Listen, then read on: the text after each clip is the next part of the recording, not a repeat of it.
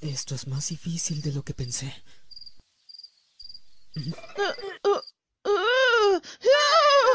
¿Qué estás haciendo? Solo quería mostrarte amabilidad. Escúchame, ¿quieres? Yo no tengo esos gustos. Permíteme, no me malinterpretes. Veamos, si un amigo te malinterpreta, entonces... Es peligroso que nos dejen juntos. ¿Dónde está Sakura? Voy a ir a buscarla. ¿Ah? ¡Naruto! No lo comprendo. ¿Y ahora qué hice mal?